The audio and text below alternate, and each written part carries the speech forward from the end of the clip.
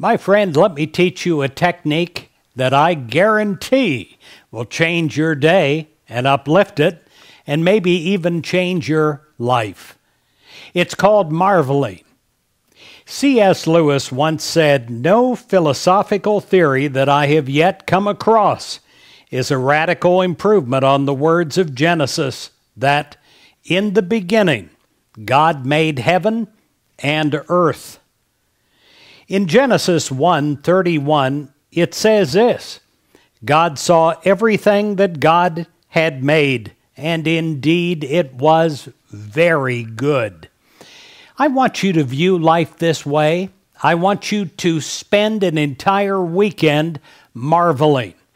It is a learned habit, and once it is practiced by you, once it takes hold in you, it can change everything. Looking with the eyes of wonder and awe at what is around you. Like a little child. You know, if you take my granddaughter when she was smaller and I could take her outside and she would notice a leaf, and that leaf would be the most marvelous thing that she had ever seen. And when you're in the presence of a child, you also see, sometimes as if for the first time, the wonder that is around you. Sometimes out of the mouths of babes is a profound truth that we adults can learn.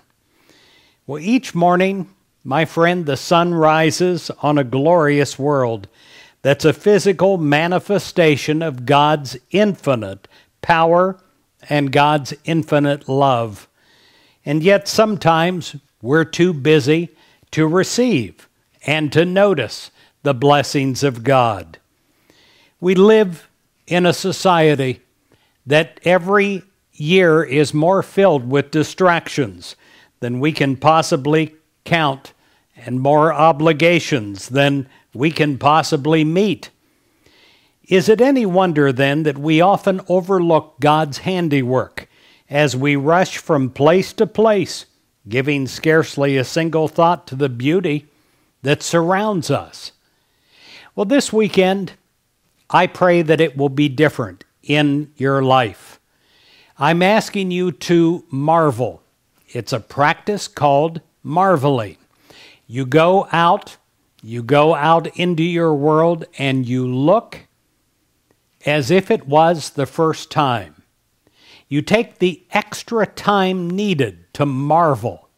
You spend your entire day marveling at the common, ordinary things that you have taken for granted for too long the grass, the snow, the sky, gray or blue. You marvel. You see again. And when you don't see it the first time, you look again and again if necessary, and even a third time, to see the incredible beauty that is around you, and to really see, to see in a way that is godly, to see everything that was made, and indeed it was very, very good. Today, take time to really observe the world and everything, all the beauty that is around you. Take time as you do to offer a prayer of thanks for the sky above and all the beauty that lies beneath it. Ponder the miracle of God's creation. The time you spend celebrating God's wonderful world will be a, a renewing time for your soul. You'll be surprised as the day comes to an end, you don't want it to end. It has been such a marvelous time. It has been a spiritual experience.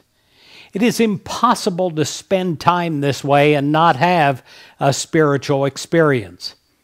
Marvel at everything, even the things that man has created, the, the structures, the architecture. See it as if for the first time and look close, look deeper, and even at problems. look long enough to see beyond the appearance of the problem to the silver lining in the cloud. And if you look long enough with a consciousness of God, you'll find it. It will be a spiritual weekend, a new practice that I pray that you'll, you'll take up in 2013 the art of marveling. God bless you, and I know that God already has. It just needs some attention and needs to be found.